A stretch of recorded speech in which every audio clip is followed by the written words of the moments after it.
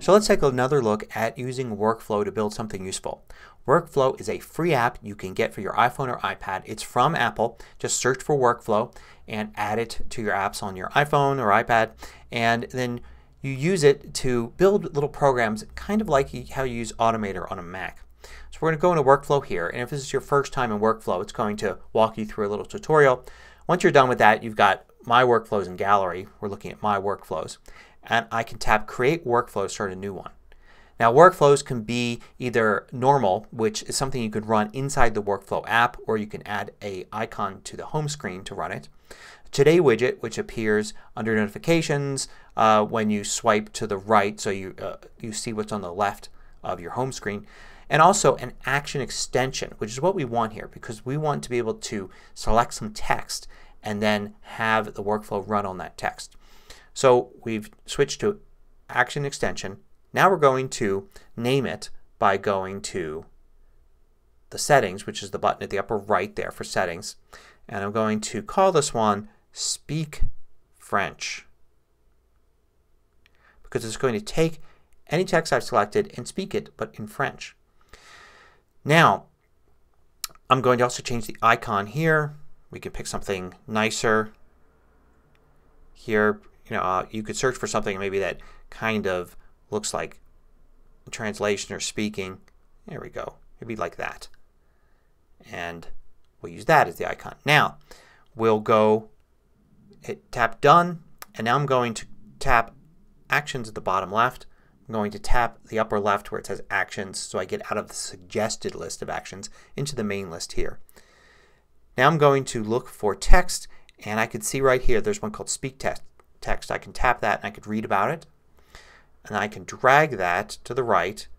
Now it's going to speak whatever text is currently selected. So we haven't gotten to the translation part yet but maybe we should test and see how this works. So we'll hit done and I can say it says speak French. It's there. But we've made it an, an extension here. So we're going to go to Safari and I'm going to select some text. Now usually you would access this by uh, this type of script by using that share button at the bottom which would speak all the text on this entire page.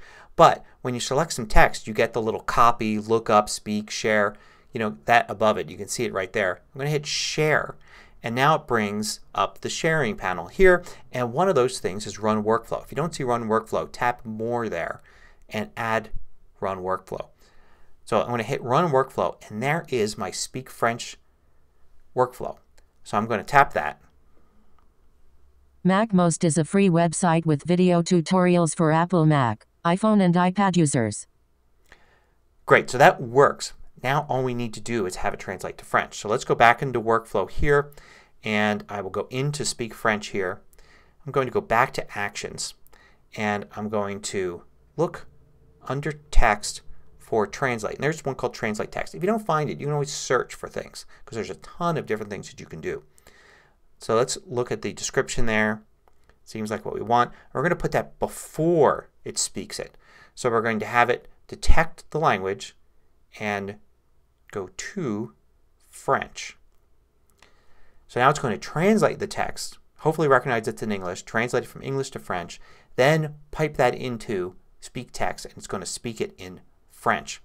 We may have gotten a, a, a little permissions, you know, grant permissions dialog when we first added translate text or first went to save this when I hit done.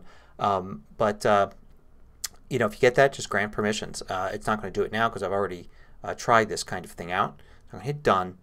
Let's go back to Safari. I'll tap that selected text. I'll hit share again. I'll hit run workflow and I'll hit speak French. MacMost estate un site gratuit avec des tutorials vidéo pour la utilisateurs Apple Mac, iPhone and iPad.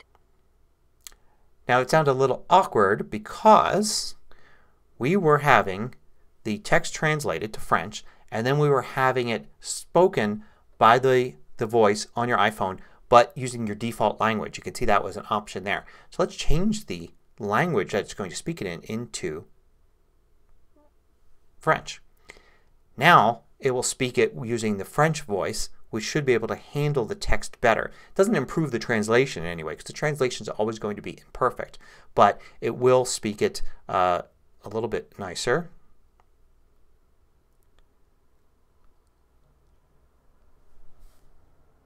MacMost est un site gratuit avec des tutoriels vidéo pour les utilisateurs Apple Mac, iPhone et iPad. And there we go. So that's kind of useful in and of itself. You can do lots of other stuff. Like for instance, I could have uh, have this set up where I add my own text in here. So I'll just search for text. And you can see one of the things here is uh, just text. And you know if you add this here instead of accepting input you can type whatever text you want.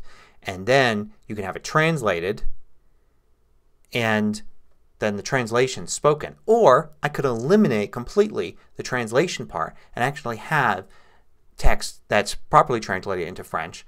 And then I could set this up instead of as a, an extension. I can make it just a normal workflow and I could play it. So for instance I could load up my phone if I was visiting France and I didn't speak French.